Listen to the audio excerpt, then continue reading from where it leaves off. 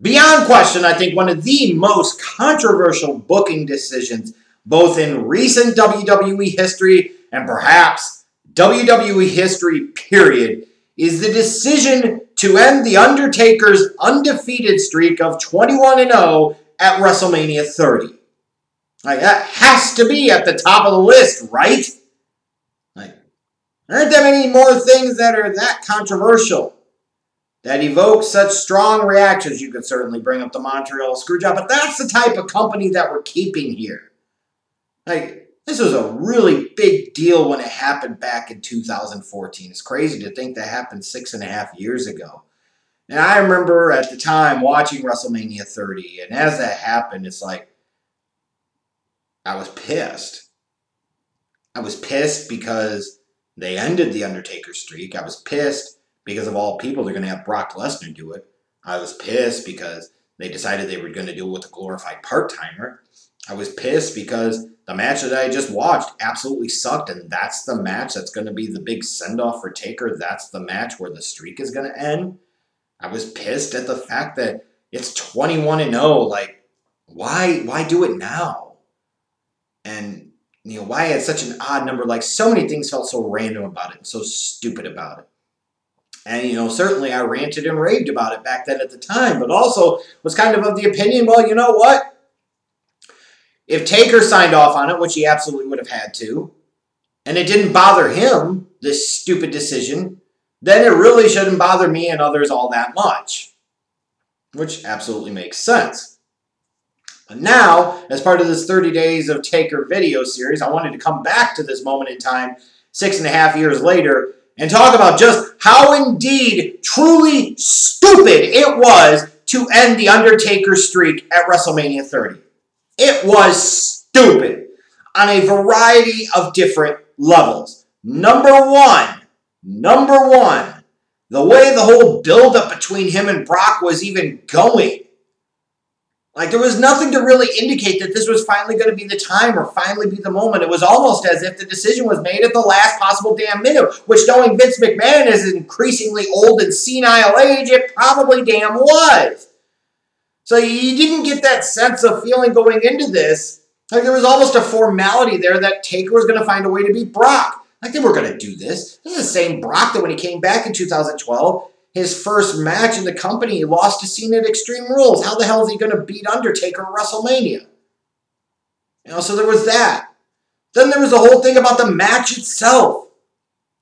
Like the WrestleMania moment, I want to emphasize this. The WrestleMania moment of this match was Elizemba and his eyes like this at the stun over the fact that the Taker's Undertaker's undefeated streak was finally over. There's nothing in the match. There's nothing about the match that is the WrestleMania moment here. It's the fans' reaction. That became the moment. And while that sounds cool because you got a reaction from the fans, and God knows that's all Vince lives for nowadays, the fact of the matter is that means ding dong dumb dicks, it didn't work. And then when you look at the fact that you threw your weight behind Brock Lesnar here, Brock didn't need this. He absolutely did not. Nor was it going to benefit him, nor was it going to benefit other folks downstream. This was not going to be a career defining moment or a career moment that he could talk about the rest of his life, like Jericho beating Stone Cold and The Rock at the same night to become the undisputed champion. Like, that was literally something that Jericho built the almost next two damn decades of his career out of. You were going to do that with Brock. You didn't need to do that with Brock. As a former NCAA heavyweight wrestling champion, a former UFC heavyweight champion, this is just another thing. It's just a notch on the belt. So it's not going to carry nearly the same impact, the same significance, and the same meaning along with it. It's just dumb. It's overkill. It's unnecessary. It is a poor distribution of your resources when you do something like that. And then when you look at what happened with Brock Lesnar over the next several years, you, you follow that up by having him wipe out Cena at SummerSlam a few months later. Now it's like you were trying to course correct from the stupidity of what you did early on with Brock to the point of where it was overdone, to where now Brock went from being some type of attraction to being the wrong kind of attraction, which ultimately made him absolutely no attraction at all. And a couple of years later, when you're looking at the guy that ended The Undertaker's 21 0 streak at WrestleMania, is sitting there in promo segments with Roman Reigns doing stupid yank belt segments in front of half empty arenas. Like, it let you know just how bad crap had really gotten. All you ended up doing was pissing off fans. All you ended up doing was driving away an older generation of fans, and you weren't doing anything to replenish those kind. And as a result, you were losing viewers. You were hemorrhaging at live events. Like, what was good about this? And what really makes this so bad is the fact that Taker wasn't done after this. Looking back, I really wish that end of an era match would have truly been Taker's last match at WrestleMania. Because then he could have been 20 and 0, he could have rode off into the sunset. I didn't understand the whole thing about, well, you know, you got to take care of the next generation. Taker's a guy that respects the business, respects Vince, respects WWE, respects, you know, his place or what's been given to him. So he wants to give back. And I totally get that and I totally understand that. But to me, you lost so much more money long term by breaking that streak because if you ended at 20 and 0, you could sell merchandise in perpetuity that Undertaker was the real Mr. WrestleMania, which he absolutely was. You Shawn Michaels idiots. You could sit there and talk about how he was never beaten in spite of all the legends he faced, all the obstacles, all the period of time that it spanned like all the different opportunities there, all the different merchandise, all the additional amount of money that you could have made that you never did because you decided like a dumb dick to end the streak and you got no payoff from it. Like this is not a thing where you got, you know, a less than expected payoff from it or a very small payoff from it. You could point to this as a moment where you got no payoff at all, and in fact, it ended up shooting you in the damn foot. Because then Taker comes back and he wrestles a couple more times at WrestleMania. He's wrestling Bray Wyatt at WrestleMania. He's wrestling John Cena at WrestleMania. He's wrestling Roman Reigns at WrestleMania. He's wrestling AJ Styles at WrestleMania. Dude's had what? Freaking four more WrestleMania matches? Is that am I is my count right here? Four more WrestleMania matches?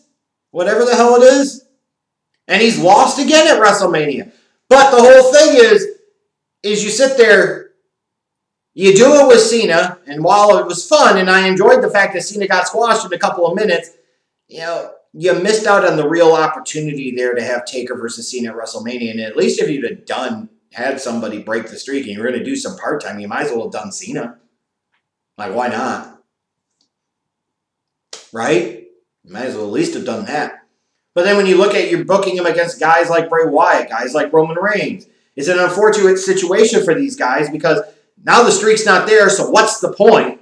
If Taker wins, it looks stupid. If Taker loses, it looks stupid. If Bray Wyatt wins, it looks stupid. If Bray Wyatt loses, it looks stupid. If Roman Reigns wins at that time, it looks stupid. If he loses, it looks stupid. Like it's the ultimate lose lose type of situation. Like all of these other things. And instead of giving this to somebody like the way we're building up a Roman Reigns in 2014, like at least have him be the one to do it then, because that's something that he could build his entire career off of. And you also know that that guy's going to be there on a full time basis potentially for the next decade plus. You don't sit there and throw that behind a guy already in his mid to late 30s that you know is going to be a part time deal, that you're going to get limited return on that investment. That makes absolutely no sense when you've invested over two decades in something. That's stupid. And that's typical Vince. Like, there was nothing good that came out of this. And you say, well, time will tell. Well, time has told. And time has told just how stupid of a decision that was. It was a horrible match. The build-up for that feud to that blow-off at WrestleMania was stupid. The fact that Taker was still coming back, like, if you were going to end Taker's streak, like, that should have been it. Hands washed. It is over and done. And of course, that didn't happen, and Taker's wrestled seven more times at Mania and other shows over the years. You know, like, the hell? It just. It's so disappointing. Because it's one of those decisions that you can't walk back.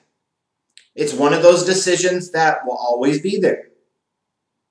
And not only can you not take it back, but you have six and a half years have gone by, so a lot of damage has been done in the meantime. Like, if it was something that you truly sensed it was well planned out, if you truly sensed that there was a thought process behind it, and that you were really going to do something with it for years to continue on that investment of two plus decades that you put into it, fine, whatever. I don't have to like it.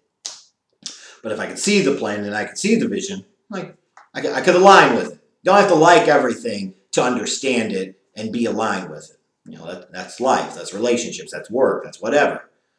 Um, but to me, it was so clearly obvious that this was just a reflex decision by Vince to get a reaction, almost like a penalty to the fans of saying, oh, you wanted to push Daniel Bryan, you wanted to force our hand. We'll give you that, but in the meantime, take this in the keister.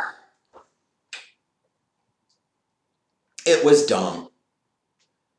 There was no payoff to Brock breaking the streak. There was no payoff for Taker. There was no payoff for other guys. We remember more of the fans' reactions than we do the actual match itself. Like, just nothing was good about it.